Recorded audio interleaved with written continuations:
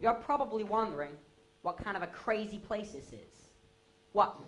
With people disappearing into bookshelves? Well, first off, this neighborhood ain't for no dumb bums.